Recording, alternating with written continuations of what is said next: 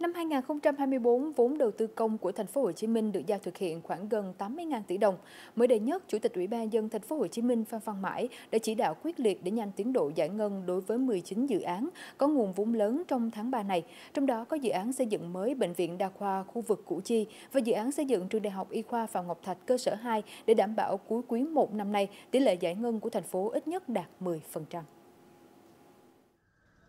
Bệnh viện đa khoa khu vực Củ Chi, quy mô hơn 1.000 giường bệnh, tổng vốn đầu tư hơn 1.800 tỷ đồng, đã cơ bản hoàn tất phần xây dựng thô. Hiện đội ngũ thi công đang tập trung thực hiện công tác hoàn thiện. Công trường đang duy trì 3 ca với khoảng 300 đến 500 công nhân, kỹ sư làm việc cả ngày lẫn đêm.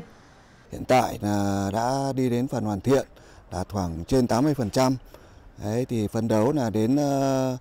tháng 9 2024 này là đưa vào hoạt động cái khối khám bệnh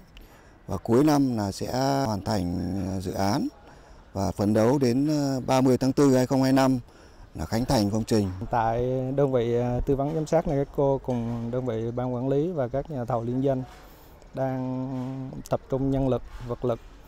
để đẩy nhanh cái tiến độ vào tháng 9 này bàn giao cái khu vực ừ, khối phòng mổ vào hoạt động trước. Trong với đó thì cũng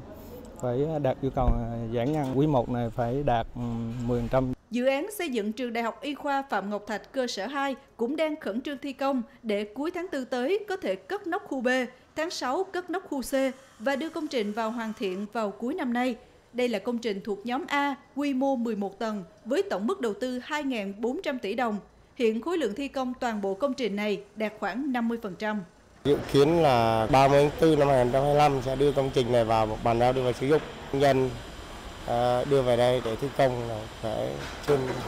ngàn công nhân để đạt cái tiến độ năm 2024 và đạt cái tiến độ giải ngân cho ủy ban nhân thành phố. Tất cả anh em công nhân đây thì à, đoàn kết chung với nhau à, vì cái mục tiêu chung là hoàn thiện dự án đến đúng theo cái tiến độ thì anh em cùng nhau làm theo 3 ca, chia nhau làm 3 ca ngày và đêm Việc đẩy nhanh quá trình xây dựng các công trình trên không chỉ đảm bảo tiến độ thi công mà còn góp phần đảm bảo tiến độ giải ngân vốn đầu tư công cho từng dự án nói riêng và toàn thành phố nói chung, đặc biệt với những dự án trọng điểm có nguồn đầu tư lớn.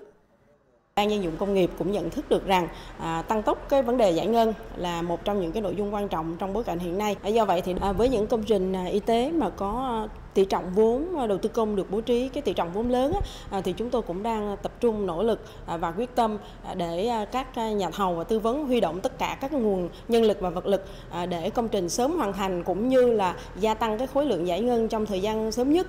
Để tháo gỡ các vướng mắc trong quá trình triển khai dự án trọng điểm, Chủ tịch Ủy ban Nhân dân thành phố Phan Văn Mãi đã giao nhiệm vụ trực tiếp cho hai phó chủ tịch phụ trách kinh tế và đô thị theo dõi, cùng các sở ngành liên quan tập hợp vướng mắt, trao đổi với cơ quan chuyên môn của Bộ, không để chậm trễ tiến độ thực hiện và giải ngân vốn do công tác đấu thầu, đảm bảo tiến độ giải ngân vốn bồi thường.